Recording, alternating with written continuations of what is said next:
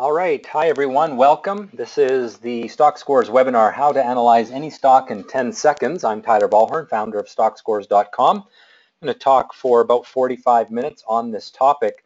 This is a real important kickoff to the webinar series that I am doing over the next two weeks because it really provides the foundation of analysis so that when I get into some of the other topics next week and, and the following week where I talk about how I day trade, how I position trade, um, you'll need to understand the concepts I'm going to teach tonight. So I would say this is probably the most boring of the webinars that I'm going to do in the next two weeks, but it's also essential because it provides you the foundation, the framework for what we'll do in the other webinars. All right, so I'm glad uh, so many of you are here. We've got a big audience, and uh, that's great. It's nice to see people from all over the world participating, and I hope it will be uh, enjoyable for everyone. The itinerary for tonight, I'm going to start by explaining what an inflection point is. We're basically going to focus on one chart. I'm going to go through uh, how I analyze that chart with uh, starting with inflection points. I'll then talk about the six elements of chart patterns and how we put them all together. Talk a little bit about this concept of time frame confirmation. I'll then give you an overview of uh, the trader training options that we have with stock scores, uh, the upcoming live class that I'm doing at the end of the month. And then at the end, I'm going to apply what we've learned, take your stock questions, and analyze the stocks that you post to me. Uh, we have a big audience, so I probably won't be able to get every question that you post, but I will do my best. So don't start posting them yet because they'll I won't catch them. They'll be too far up the page for me to see.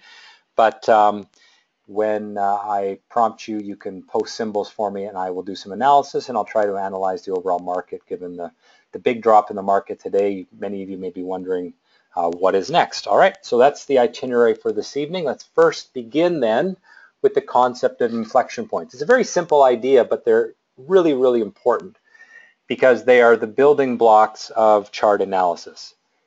The peaks and valleys on the chart are what we use to construct price patterns.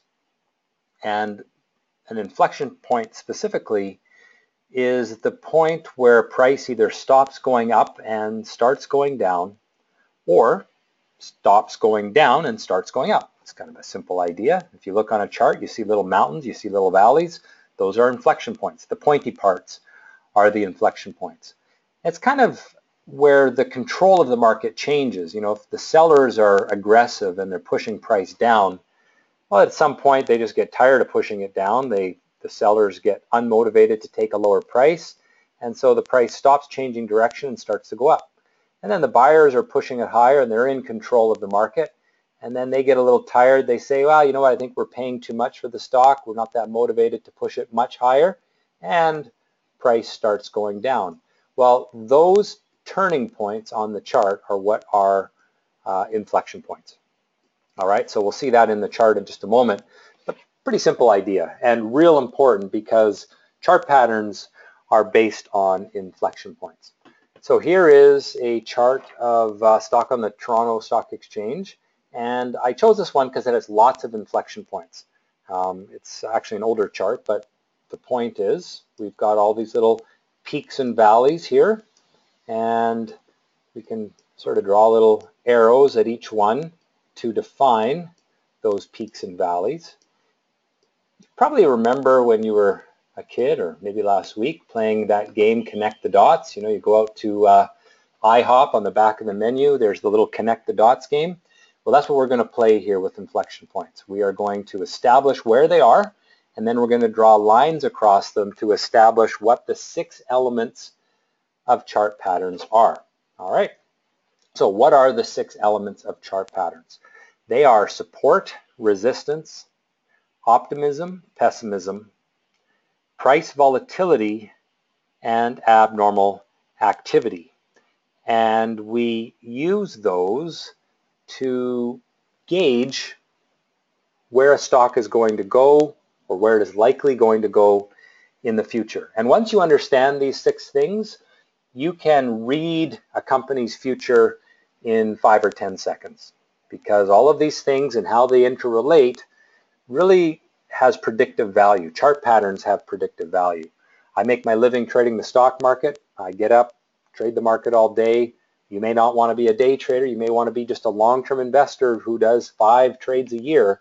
If you can understand these six things, not only can you sort of focus in on the winning stocks, but also avoid the lousy stocks. So let's go through the six now, returning to our example, and just uh, sort of help explain what each of these means. So let's start with support. So support is drawn at any inflection point low. So if we just start off here by picking all the little valleys on this chart, and I'm just highlighting them here with my little pen tool, uh, any one of those valleys is an inflection point low. And we can then draw horizontal lines at the inflection point lows to establish where support is. Now what does that price level mean? When I draw that horizontal line, what does it mean? Well, returning to what I was speaking about earlier, which was the inflection point occurs where price starts or stops going down and starts going up. In the case of inflection point lows, it's where the sellers lose control. The sellers are pushing price down and then at some point the buyers say, hey, the stock is priced too cheap for what the fundamentals are worth. We're not willing to let the stock go below, in this case, 78 cents. And at 78 cents, the buyers get aggressive, they take control of the market, and they send it higher. So that line that is drawn on the chart actually has some meaning because it is the lower boundary at a certain point in time of what the sellers are willing to sell for and the buyers are willing to come in and, and prop up the stock. You know, the job of the stock market is to figure out what the company's future earnings potential is. How much money is the company going to make in the future? And to do that, investors consider all available information out there in the marketplace and try to make a guess about what the fundamentals of the business are worth. When I say fundamentals, I mean their products, their services, their management, their balance sheet, their income statement, how much debt they have, how much is earnings growing over time. All of those concepts are the fundamentals. And there are thousands, if not millions of investors analyzing individual stocks trying to figure out what the company is worth, how much money it will make in the future. So when we look at a chart, what we're really looking at is a graphical representation of what that argument is that is going on in the stock market each and every day. And when I draw lines of support, we're seeing boundaries, lower boundaries of what investors think the fundamentals are worth. All right, so real important concept because when stocks go down through support, when the market establishes a floor price and then price drops down through that floor, it implies that there is some new information coming into the market that justifies investors taking a lower price. If you think about the what was the the biggest in terms of market cap, the biggest company in Canada on the Toronto Stock Exchange just a few months ago was Valeant Pharmaceuticals, symbol VRX. Unbelievable performing stock over the last few years. And in August, it was the largest company on the Canadian stock market. I'm not sure what the valuation was, but it was bigger than Royal Bank. Well, about the third week of August, I believe, I'll maybe have to pull up the chart just to confirm that, Valeant broke through support. It had a well-defined floor. It broke down through that, giving a very strong sell signal for that stock. And it wasn't until a few months later when we got the report from a, a short seller in California, I believe, a guy named Andrew Left, who has a company named Citron Research, who said, hey, this company is kind of built on a house of cards and a lot of the stuff that they're doing isn't very cool. And we've seen that stock really get decimated. It is no longer the biggest company on the Canadian stock market. Well, you didn't need to know all of the fundamental research that these short sellers did to figure this out. All you needed to do was look at the chart and say, hey, it broke support this week something's wrong. And I'll show you that in a little bit. All right, so that's support. Now let's talk about resistance. Resistance is pretty simple. It's just the opposite of support. We start with the inflection point highs. So look at the little peaks on the chart. All you got to do is find the little pointy parts and draw a horizontal line across them. So we can draw a few horizontal lines on this chart. and I'm not making real straight lines because I'm using just my mouse, but you get the idea. Resistance is an upper boundary of what investors think the fundamentals are worth. It's the upper limit based on all of the information that investors have about the company's ability to make money in the future. It's the maximum price that investors will pay for the fundamentals. And it's important because again, if there is new fundamentals coming into the market that justifies investors paying a higher price, then you will often get a break through that resistance level and that starts an upward trend. So you can see back here the stock was trading in a range of between 40 and 50 cents for two, two and a half months. And then on this particular day right here, it broke through that ceiling. What was behind that? Well, investors who study this company very closely decided that the fundamentals were worth more than what anyone had been willing to pay for some time. And that caused that stock to start to go up as more and more people learn about those positive fundamentals the stock goes into an upward trend and you can see over a number of occasions the stock breaks through resistance and that becomes the next leg in the upward trend. So resistance, simple horizontal line drawn at past price peaks. Let's now talk about optimism and pessimism. Optimism is if you have rising inflection points from left to right, you have optimism. All right, so I can say that the market is very optimistic about this company because every time the sellers are strong enough to push price down, they're unable to push it as low as they had the previous time they pushed price down. And you can see at a number of occasions here, you've got rising bottoms, you get the sellers pushing price down for maybe a week, week or two, and then they just don't have the power to push it any lower. The buyers step in and overwhelm the sellers and push price up again. And the fact that there are rising bottoms on the chart implies that investors are optimistic about this company. Well, what is pessimism? Obviously, it's falling tops.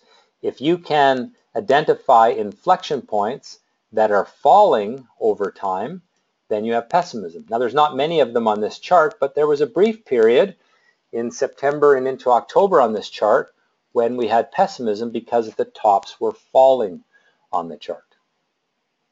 Now you don't want to own stocks that are in a pessimistic mood. If the sellers are stronger than the buyers, there's probably something wrong with the fundamentals of the company. And if more and more people learn about those negative facts, then price will be driven lower over time. So you want to avoid stocks where there's pessimism and you want to consider stocks where there is optimism. Now we can actually define a trend line using the inflection points as they rise or fall over time. All that we do is, remember I said we were going to connect the dots, so let's just draw these little inflection points and draw a line through them. Well, there we have a downward trend line. Here we can draw an upward trend line across the bottoms as they rise from left to right. You can see the line gets steeper over time. That's because investors are getting emotional. The steeper the line that you draw, the more enthusiastic or emotional investors are. But that is another uh, type of support or resistance. Trend lines that are drawn across the tops or bottoms as price moves are another line of support or resistance. So this is a line of resistance here, a downward trend line, and this is a line of support, an upward trend line it's consistently moving up from left to right. Now, if I had the ability to draw a nice, neat, and tidy straight line, you would see that the stocks will tend to bounce off of their linear trend line many, many times. And I'll show you that when we do some stock analysis.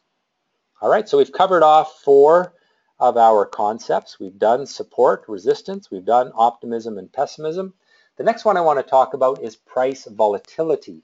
How much is price changing over time? Here you can see that price is changing a lot more over time than it was here.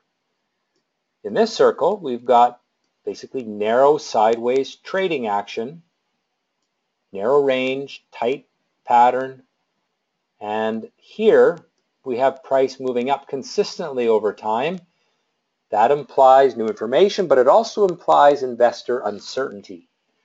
As a general rule, the more volatile a stock is, the more uncertain investors are about its ability to make money in the future. So when you have a stock trading in a very narrow, tight range, like we have here or here, that implies that investors have become confident about what the company is worth. When you get breaks from that and volatility is expanding and increasing, it implies that investors aren't sure about what the company is worth. Now, being unsure isn't a bad thing. It can be unsure and optimistic, which is what drives an upward trend. It can be unsure and pessimistic, which drives a downward trend. Now what we want to do as traders looking for opportunity is find situations where volatility is diminishing over time. The reason that that is important is because diminishing volatility typically comes before a trend. Now trends are how we make money. You know, if you bought this stock at 50 cents and four months later it's at a buck 50, you're a pretty happy trader. Well, notice that the start of this upward trend, let's call it starting right there, began when the stock broke from low volatility. Now, how do I know that it was low volatility? If I draw a line across the tops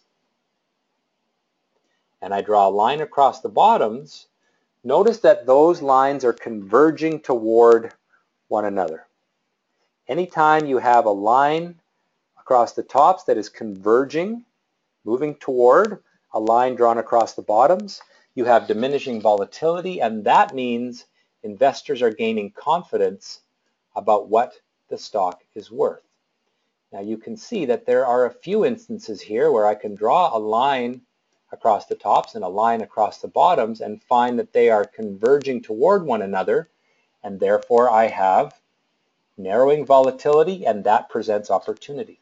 I could also draw a line across the tops like this and across the bottoms like this and say, hey, those lines are not converging, they are diverging at that point. And therefore, price is telling us that investors are growing uncertain about the company's future. So very important concept, one that's often overlooked when people analyze charts, simply how is volatility changing over time? Is it diminishing or is it expanding? Now we want to look for breaks from diminishing volatility because they imply that there is new information coming into the market that justifies paying a higher price. All right, let's uh, take a look at the next and final concept, and that is abnormal activity. So what is abnormal activity? Anytime the price makes a move, a bigger price move than normal that stands out visually on the chart, you have abnormal activity. And it's all relative to what the stock did in the past. So here is a day when the stock made an abnormal price move relative to what it normally would do. You can see normally it trades in a pretty tight little narrow range. And then one day it makes a gain that's probably three or four times what it would normally gain. We can also look for abnormal volume. Here is a day when there was volume traded in that stock that was higher than any day going back a number of months.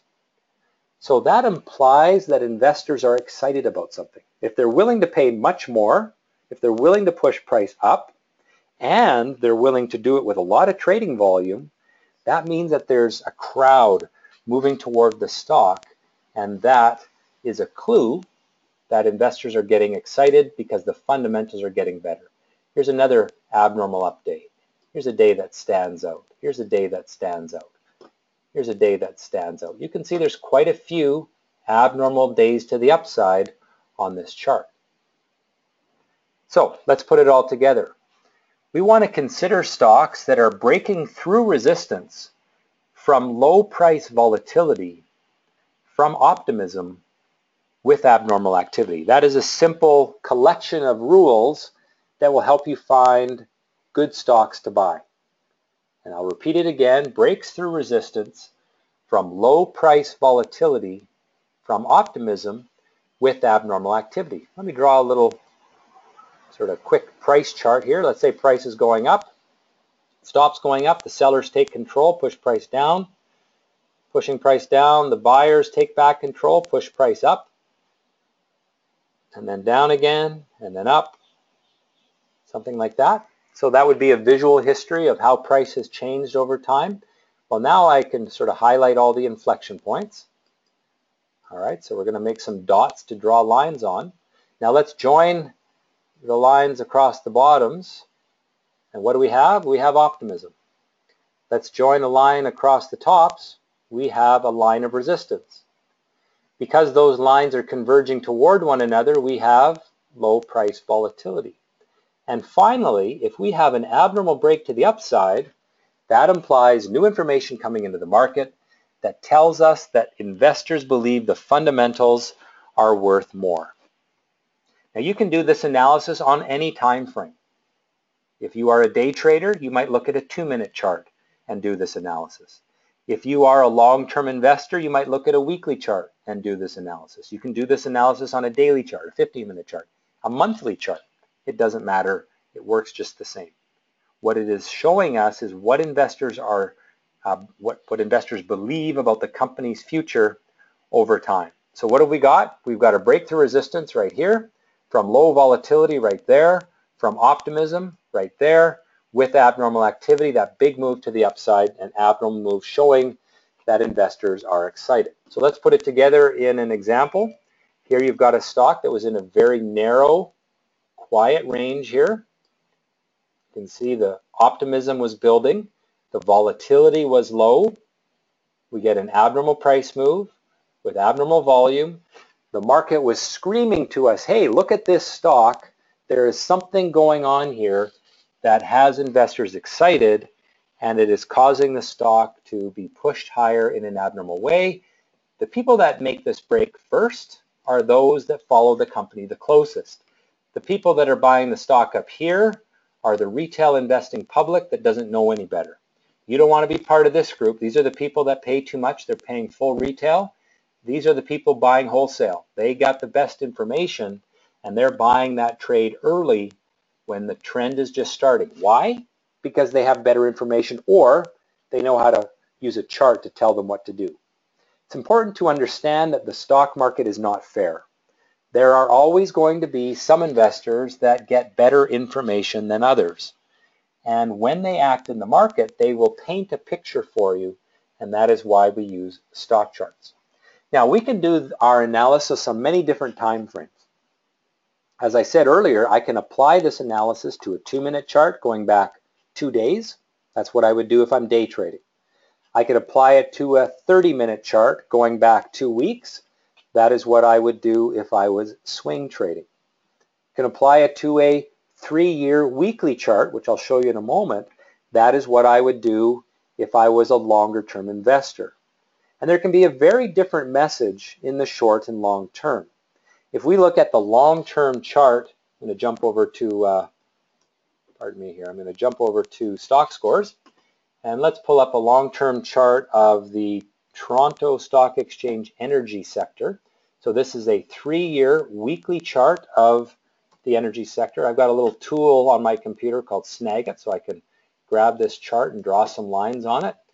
Just do that now. And let's draw lines across the tops. Make that a red line. Okay. So you tell me, you don't have to tell me, but just think about it for a moment. What is the dominant mood of the market on energy? Is it optimistic or pessimistic? It's pessimistic. We can see that because the tops are falling over time. It's no more complicated than that.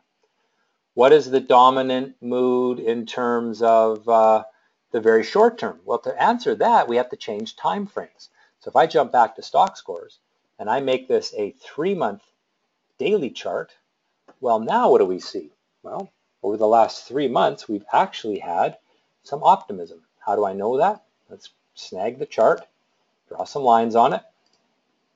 I'm going to take out my little line drawing tool here, and notice I can draw a line across the bottoms that is rising from left to right. Now we actually have a little bit of conflict here because we also have falling tops, don't we? So in the more recent history, let's say the last month and maybe five weeks, we've actually got a neutral chart because we've got falling tops and rising bottoms. All right, so I would say short term I am neutral on oil stocks in Canada, but long term I am pessimistic. Now what about the very short term? Well, let's make this a two-day, two-minute chart.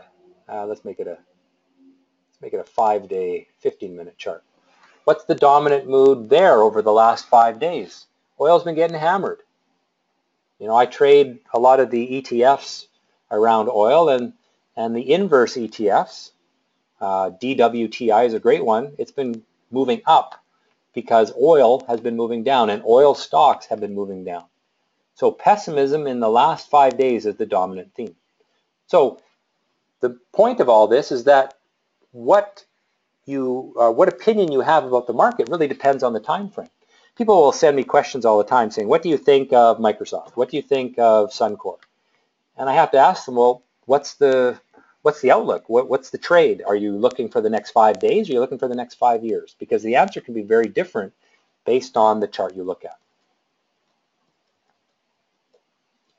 Oops. All right, so let's continue rolling along.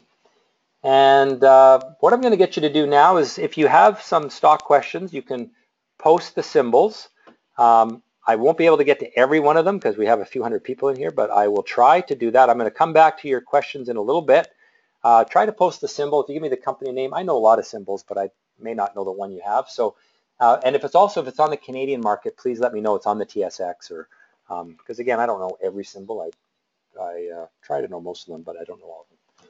All right, so before we start answering questions, I'm going to give you a quick overview of the Stock Scores Education Center, which is something we launched last year.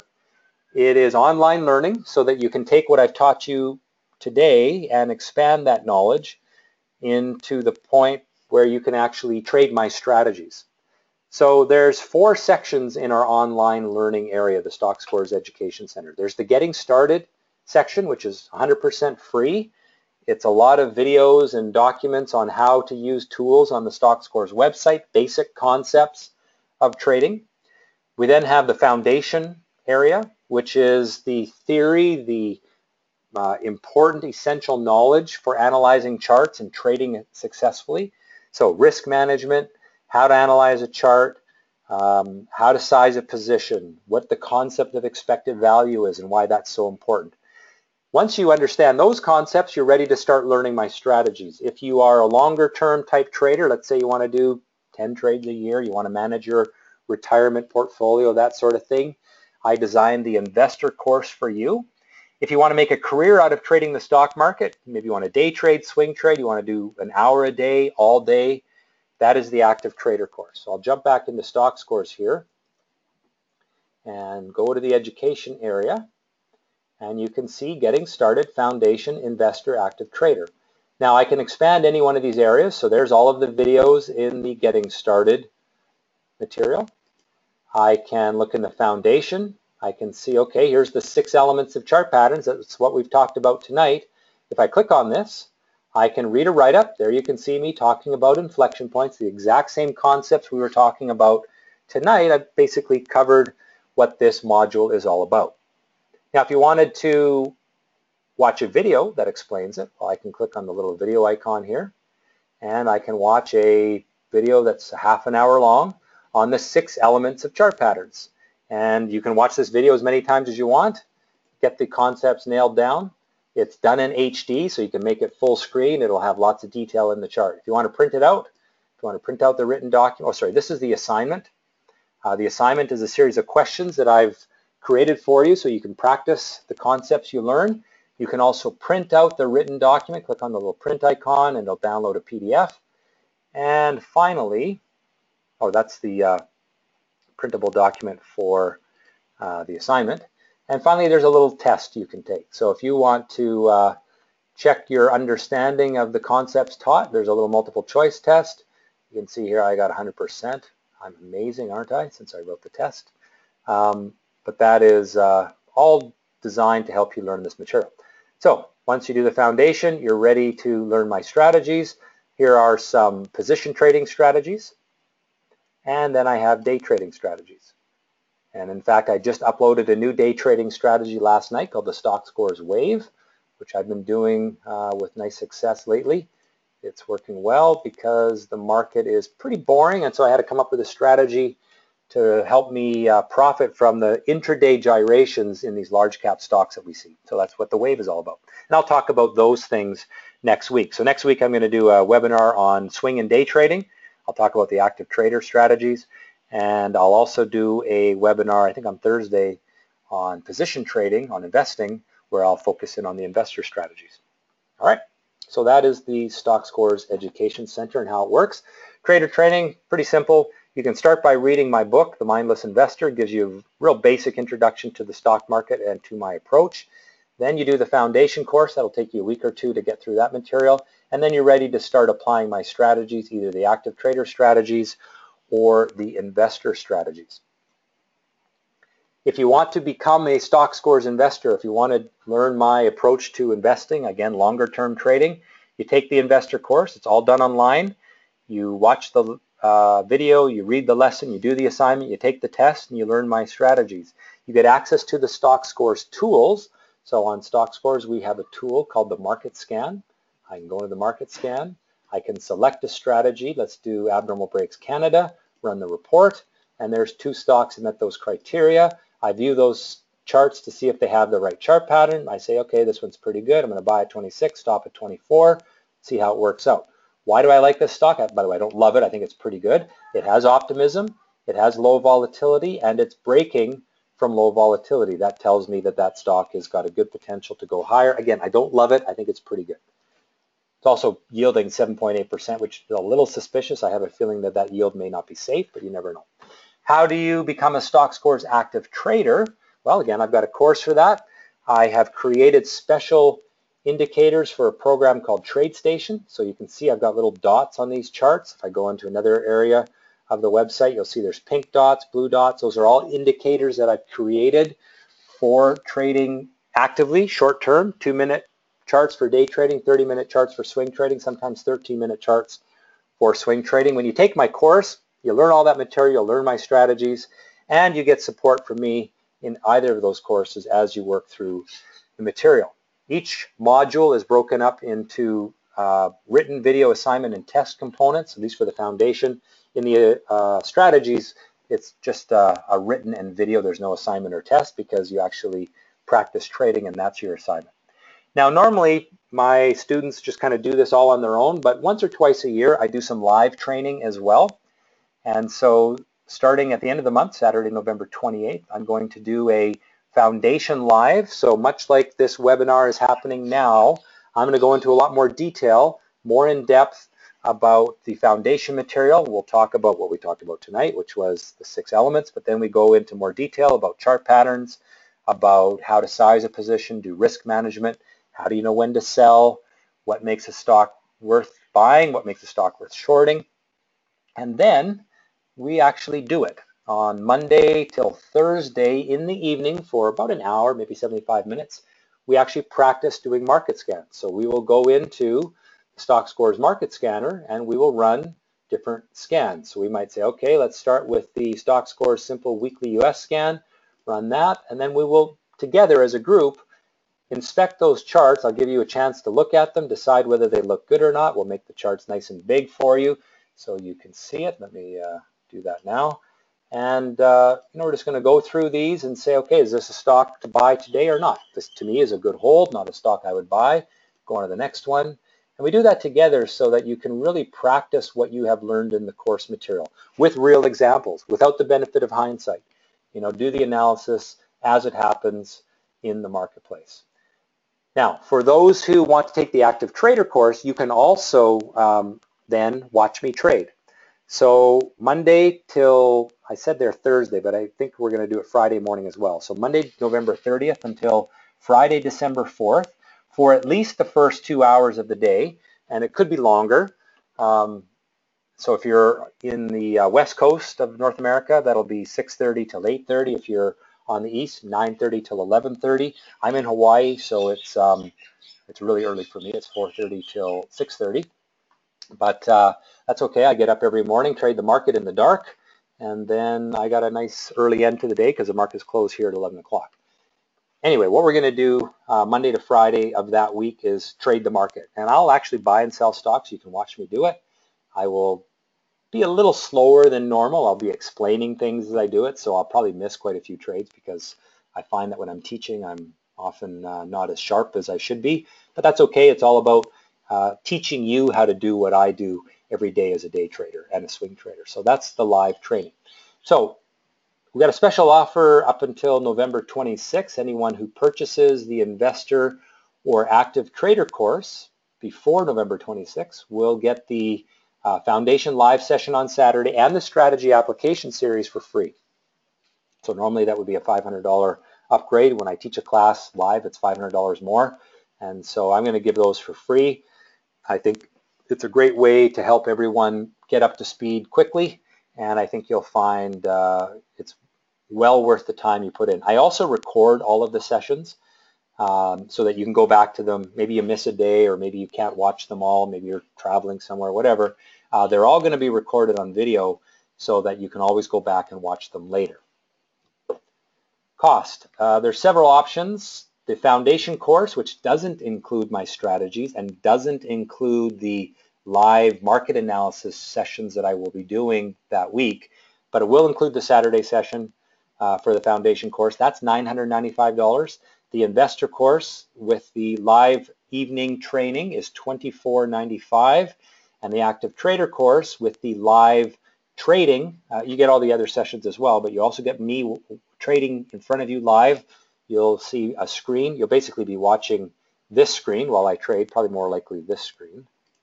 So as I'm doing things, you'll watch what I'm doing. I'll explain why I bought Microsoft today here, why it was a great short here. I'll explain all that and I'll actually do the trades and um, you'll see where I sell them, all that kind of stuff. So I'm not uh, shy to you know, show you what I do to prove that I actually know what I'm doing and that this stuff works. And so you will see that as you go through. Now, if you, um, let's say last year you took the investor course and you want to upgrade to the active trader course now, you pay the price difference plus $250. So if you think you want to do the active trader, it's cheaper just to buy it right from the get-go. But if you want to go step by step, you can start with the foundation and then upgrade. You're just always going to pay a $250 premium for each step that you take. So that is an option. Some people want to do it step by step. That's the upgrade option as you go through. Um, many of you that are on the webinar tonight have taken my courses in the past. You're more than welcome to participate in the live training sessions. Um, I will be sending some emails out about that. It's going to be $195 for you. You don't have to pay $3,000 again. Uh, you pay 195 and so keep an eye out for those details. All right, so we're just about ready to answer some questions. I'm going to quickly launch a poll because uh, it's a way for me to follow up with an email for anyone that wants to uh, learn more about the upcoming courses. So you can um, answer this poll and then we'll get into your stock questions and I'll try to uh, do some analysis for you in real time. I'm going to take a quick sip of water here.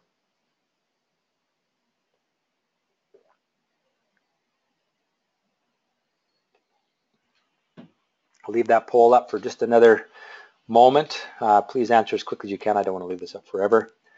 Um, and then we will get to the stock questions. While I'm uh, waiting for, I see that there's some more general questions, so maybe I'll take this opportunity to answer some of those. I'll probably missed some because there's so many questions coming in, but let's, I'll do my best. Uh, do I do options training? I do not. Um, I'm not an expert on options, so I don't like to teach things that I don't do myself. So I apologize, but that's not something I teach. I'm not a big fan of options, to be frank. I think, uh, I mean, the majority of people that trade options lose money, and I think it's a tough, tough thing to do. But if you know how to trade options, great. Just don't go into it unless you really know what you're doing. Uh, do I ever use the one-minute time frame when day trading? I don't find it all that reliable. I find the two-minute is about as short as I like to go. So um, I would there are times when I'll look at the one minute on a really fast moving, highly liquid uh, stock like uh, the VXX, for example, or sometimes on the S&P 500 ETF SPY. Because it's trading a couple hundred thousand times a day, you can get an okay message from that, uh, from that as well.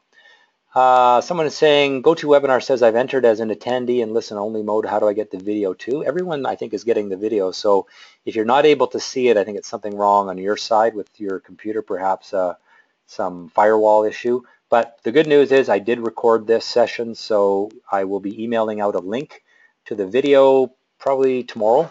And uh, I apologize that you're having technical problems, but um, uh, unfortunately I don't have much control over that.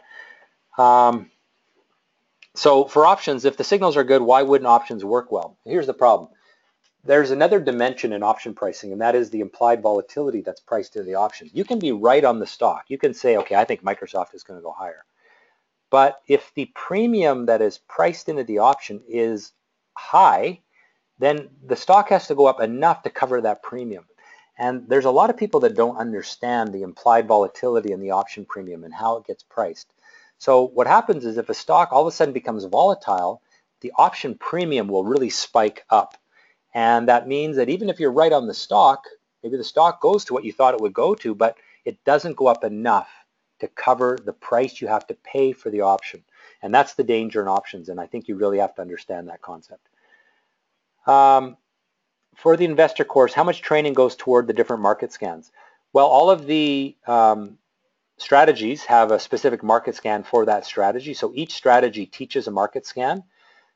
As well, when we do the live training, I will actually be doing those market scans in front of you for those evenings, and then we will um, analyze those. So there's a lot of application of the materials, not just theory. The foundation part of the course, the Saturday that we do, is theory. And then the live sessions after that for the following week are all application. I call them the application sessions. Okay, uh, most stock questions here. How much capital does one need to have to trade? Um, really a question of how you, what you consider your time to be worth.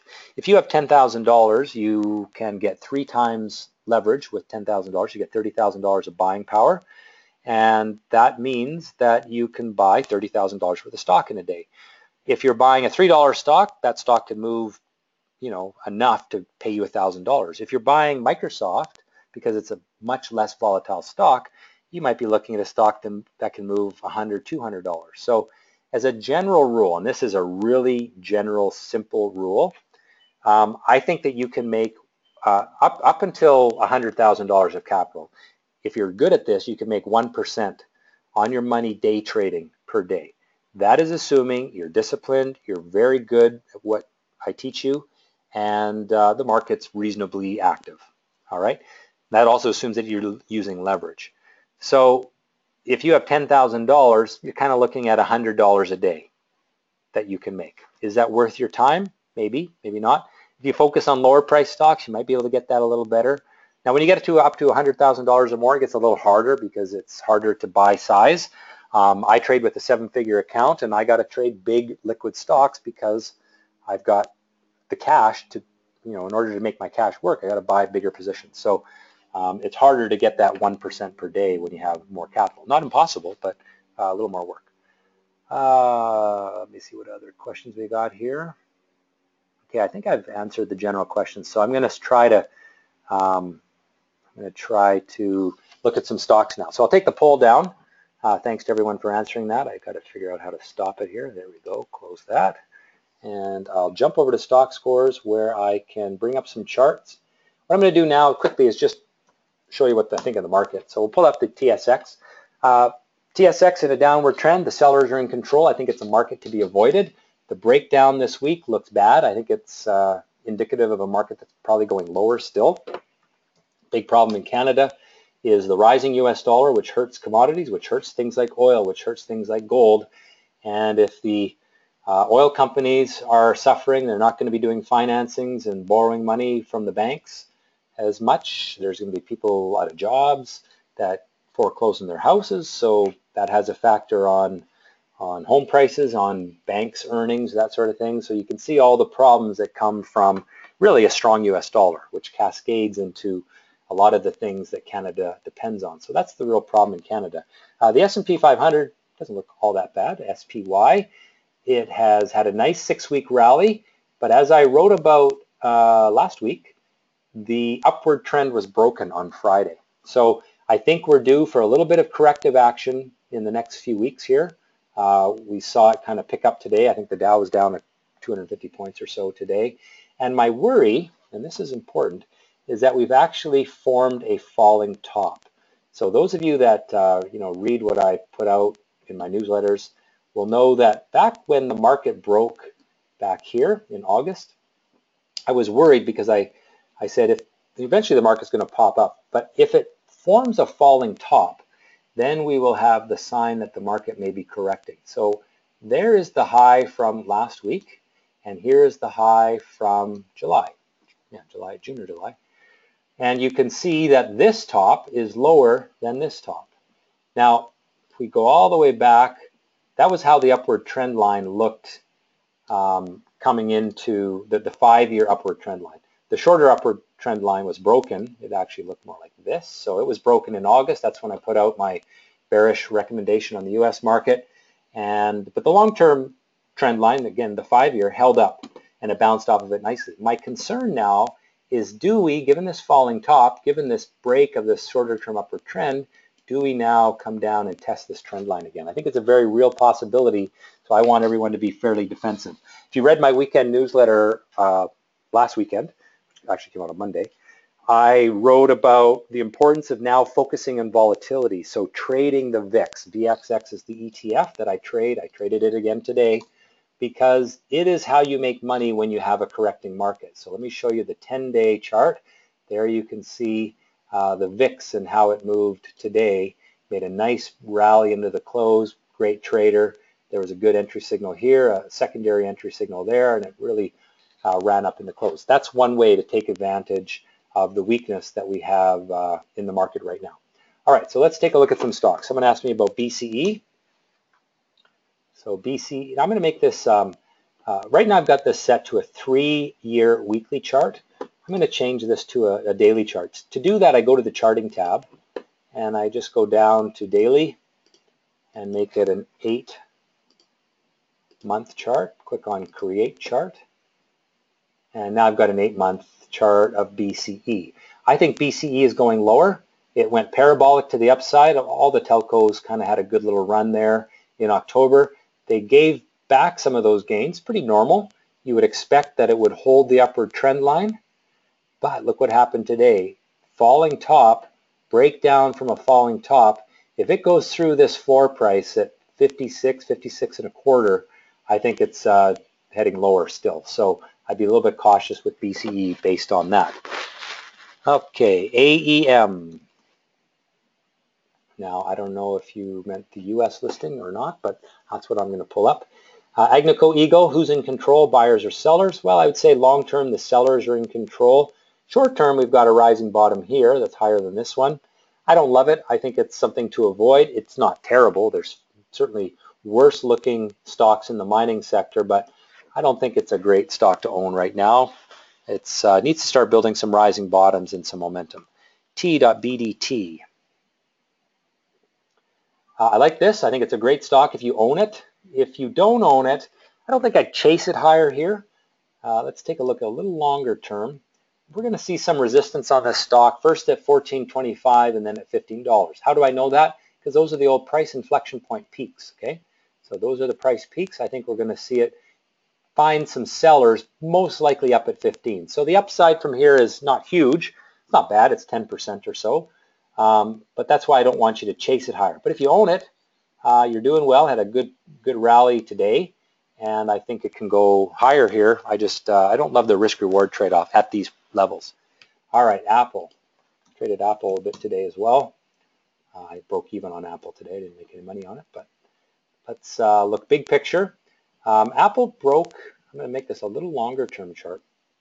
It broke through some support back here in August, as everything did. But now this top that it formed is a falling top from here. I have a theory about Apple, and I, that is, I think Microsoft is going to start to take market share away from Apple. Some of the products that Microsoft is coming out with, the Surface, the new Surface laptop, um, even their phones are pretty cool. You know, I'm a, I'm a geek. I like gadgets. I got a ton of Apple products, but I'm going to go buy a Surface because it's a pretty cool looking product, and I'm not the only one doing it. There's a lot of people doing it. I think that might be one of the problems for Apple. Uh, and Microsoft's chart, just for as a comparison, Take a look at this. Okay, that's what Microsoft has been doing. Uh, and if we go back even farther, it's been rock and rolling. I mean, this was a boring dead stock uh, two years ago, three years ago, not two years ago. and it has been, uh, in stock terms, eating Apple's lunch. It's been biting into the Apple. All right, so what do I think Apple? I don't like it. I think it's uh, a stock to avoid right now. I think it goes lower. Um, I love their products. Don't get me wrong. I like I, I, got an iPhone. I got a Mac laptop. I got I don't know, what's 10 iPads around my house. So we are definitely an Apple family, but uh, I think that there's some problems where they're going to lose some market share, maybe to Microsoft. Okay, what else we got here? TVIX. So uh, TVIX is another way to trade the VIX, which is, I showed you the VXX uh, a moment ago. TVIX is a leverage way to trade it. I actually prefer the UVXY, it's more liquid. So TVIX and UVXY, they essentially do the same thing, and that is they go up when the market goes down. TVIX is two times risk. I think UVXY might be three times. I'm not positive, but either way, UVXY is much more liquid. So if you want leverage in, in trading the VIX, I would focus on the um, UVXY. Pardon me for coughing. I know that probably sounded terrible through your speakers on your computer, but I uh, talking too much here. All right, someone's asked me about Royal Bank, T.RY. Um, today, a little bit of a breakdown here. Let's draw some lines, highlight all the things we've talked about. So notice, uh, I mean, just within a few seconds, I know that this stock doesn't look great. Here's why. First of all, rising bottoms were broken today. That trend line was broken. You have a top here that is lower than this top, so you've got a falling top. You broke down from a falling top. It's not a terrible chart, but I think we could see it get down into the $71 range. Um, maybe it just goes sideways, but I just don't think it's going to go higher anytime soon. So I would uh, shy away from the Royal Bank. Uh, EXE, so T.exe, Extendicare. Uh, great stock, one of the few real winners in Canada. Look at the three-year. Um, it's held its own, but in the last year, it's actually been doing pretty nicely, up I don't know, 30 or 40 percent, which for the Toronto Stock Exchange is a good performance because most stocks in Canada have not done well. This is another case of I like it. If you own it, I wouldn't want to buy it here. I think it's getting a little overextended. I would maybe consider it if it pulls back to the upward trend line. So draw a line across these bottoms. If it can pull back into that $8.99 range, then bounce off of the trend line, that's a way to buy a good stock on sale. Um, but if you own it, I would stick with it. It looks pretty good. Facebook,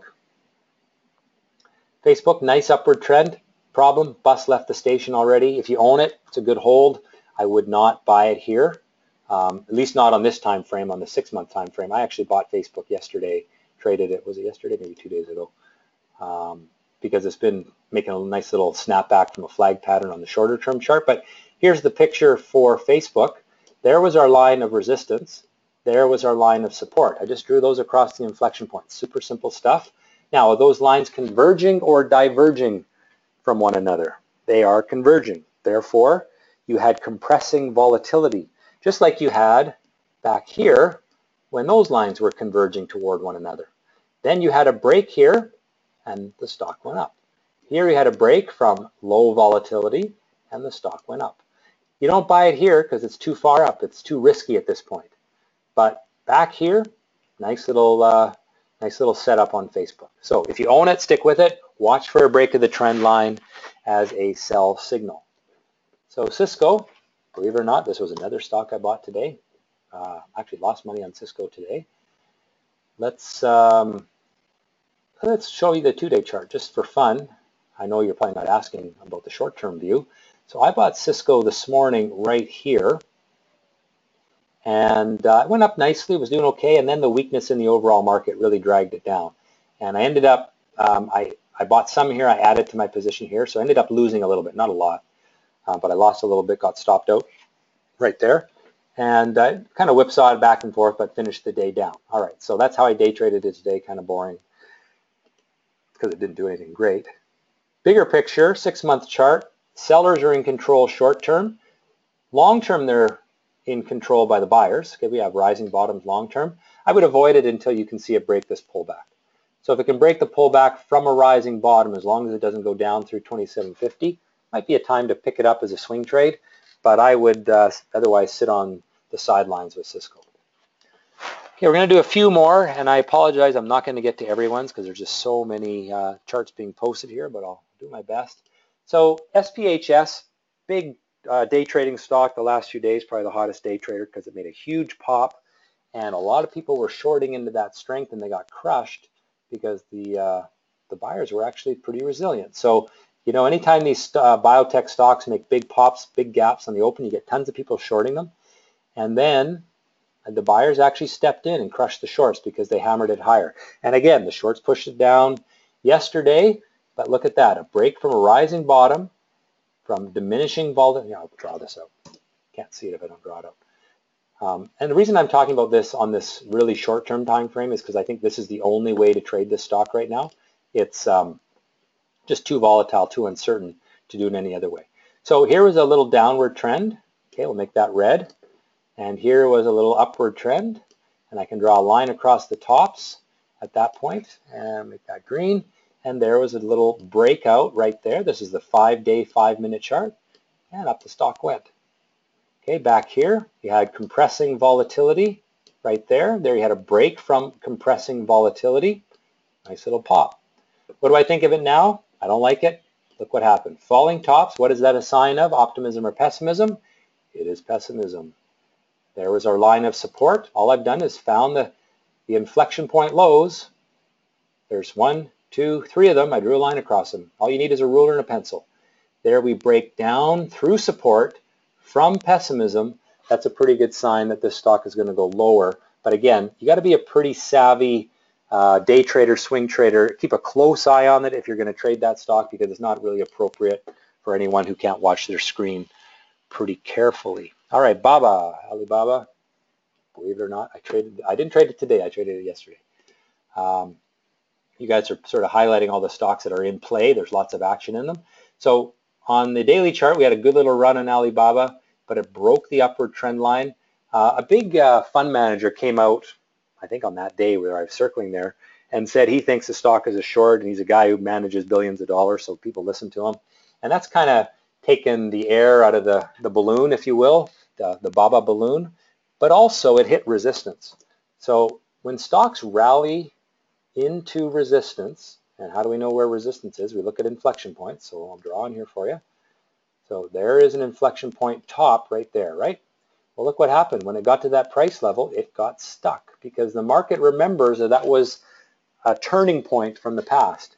Now, the upward trend line drawn across the lows was broken uh, two days ago. So I think this is a stock to avoid in the short term, but it's very volatile. It's fun to day trade it, swing trade it. So if that's your style, then watch it. Um, you know, I watch it on the uh, two-minute chart, so I'll go into my TradeStation program and I'll watch it for swings. And just looking, these lines are my risk-reward lines. I'll talk about those next week. Um, but there you can see Alibaba in a downward sloping channel on the 13-minute uh, chart. And it needs to bust out of that before I would really consider it for a swing trade. Day trading, um, it gave quite a few entries today. Um, I actually didn't trade Baba today, but I did trade it yesterday. Just trying to remember where. I don't know if you guys care. Probably bought it right here. And I think I made one-to-one -one reward for risk on it. So not, not a lot, but better than losing, I guess. All right, so I'm going to do two more. Uh, what do we got here? Let's do a couple Canadian stocks. T.PGF. So obviously Pengrowth is a oil and gas company.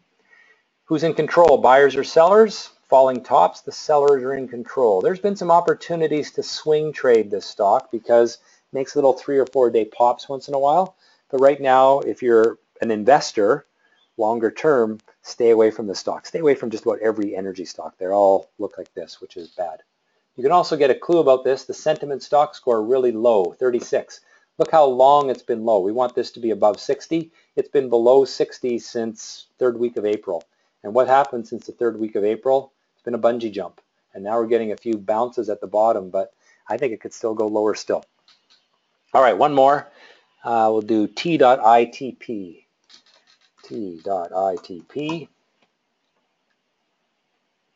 Uh, good little pop the last few days. I, to me, that's a swing trading pop, and the reason is I'm a little worried about this overhead. There's a lot of people that own this at higher prices.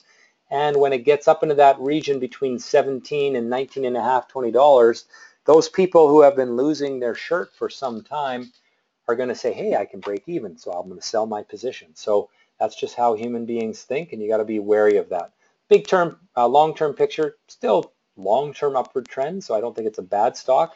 As far as Canadian stocks go, it's actually pretty good, but I don't love that big downdraft here. I don't know what happened there. Maybe it was bad earnings or something, but uh, I'm not crazy about seeing that. I think it shows a little weakness in the in the company, and uh, be cautious with it. But I think it's something you can shorter term trade. All right, so I'm going to wrap up there. There's my uh, coordinates, my uh, personal email address, tylerb at stockscores.com. If you want to learn more about the course, I should just quickly show you this. Go into um, the homepage, and right here in the middle, learn to trade with the Stockscores approach. Click on that. And there you get a breakdown of um, our different education programs. So again, there's some incentive to do this now because you're going to get that live training from me at the end of the month for free. Anyone that registers for the course uh, between now and November 26, or if you've registered a couple, I know a few of you bought the course last week, so you're also getting this. But basically, anyone new registrations for the course is going to get the uh, live training for free. There's a little bit of the details of that special offer. And you can sign up right on this page. Now, I have access to all this material already, but for you, if you haven't taken my course, it'll actually have the pricing there, and you just click on it, and you can, um, you know, just buy it right from this page. It's uh, not working for me because I've already owned it. So um, that's a good thing to take a look at. And uh, there's videos here that explain what the foundation course is, what the investor course is, what the active trader course is. So give that a look, and uh, hopefully tonight's presentation has been useful. Um, follow me on Twitter. My handle on Twitter is at StockScores. I'll sometimes post my trades on stock on Twitter. I will put out little trading cliches, thoughts on the market, that kind of thing. It's free, so why not? Get on Twitter, uh, search for Stockscores, and follow me. I've also got a YouTube channel. It's got uh, lots of people uh, watch my weekly market minutes video, and it's again, it's free. So go to youtube.com slash stockscores.com Subscribe to my channel and every time I upload a new video, you will get an updated, uh, or you get a, a, little alert saying, hey, Tyler's uploaded a new video, check it out. Um, and uh, the, my Market Minutes video is real helpful. You can also watch my Market Minutes video on the Stockscores homepage, but uh, I think it's better to subscribe to the channel. But if you go down to the bottom right here, there you can see my Stockscores Market Minutes for November 9th. Watch the video. You'll see that I gave a, a warning on where I thought the market was going to go in the short term, and today we see the truth. That's tonight's presentation. I want to thank you all for joining me. I apologize if I didn't get to your question or your symbol. There's just so many coming in, I couldn't get to all of them. I have recorded this as a video. I will send you a link as soon as I have compiled and uploaded the video. Be sure to register for the other webinars. We've got one Tuesday, one Thursday next week, and then the following Tuesday we have one as well. You can register for those right on the Stockscores homepage. Just go to stockscores.com. There's a webinar link right at the homepage uh, sign up for those. Uh, they're going to build on the topics we talked about today. So as I said earlier, this was kind of the boring one. We're going to get into actually applying some of this stuff next week in those webinars. Have a great week in the market. Hope to see you next week and trade well.